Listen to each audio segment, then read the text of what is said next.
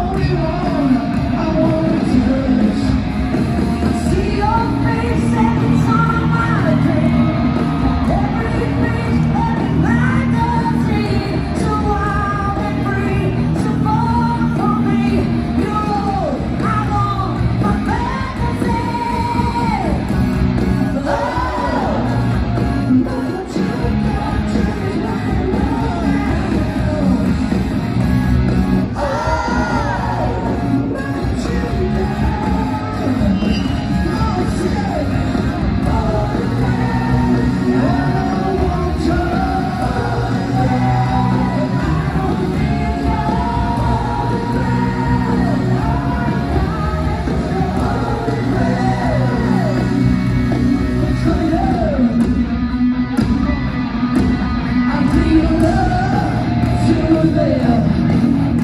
you hurt me if you did.